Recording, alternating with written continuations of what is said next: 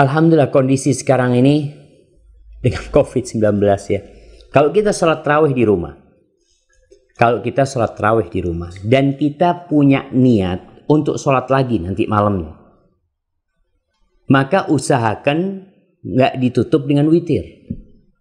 Karena Rasul Shallallahu Alaihi Wasallam menganjurkan kepada kita untuk menjadikan witir itu akhir sholat kita.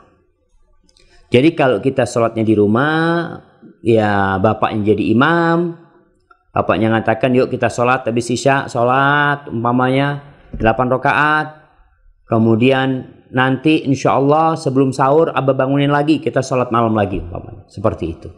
Maka tidak perlu ditutup sama witir. Tapi kalau orang sudah menutup dengan witir, menutup dengan witir, maka tatkala malam hari dia ingin sholat lagi, dia nggak perlu witir lagi.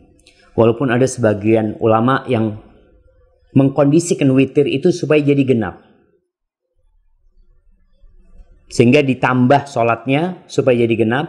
Atau kalau antum jadi makmum, imamnya mau witir, makmumnya sedangkan mau nambah sholatnya. Ketika imamnya assalamualaikum, dia tambah. Dia bangun lagi untuk menjadikan sholatnya itu adalah genap dan tidak witir. Witir dia kapan? Nanti ketika di akhir malam. Ini untuk pendapat jumhur ulama yang mereka membolehkan sholat malam itu lebih dari 11 rakaat dan rasa pendapat itu pendapat yang lebih kuat. Berdasarkan dalil sabda Nabi alaihi salatu wassalam salatul lail mathna mathna fa idza khashita al fajra fa'utir biwahida salat malam itu dua-dua. Nabi tidak menyebutkan jumlahnya. Berapa rakaat tapi caranya yang beliau sebutkan dua rakaat dua rakaat. Kalau engkau takut subuh maka tutup dengan witir satu rakaat. Barakallahu fikum.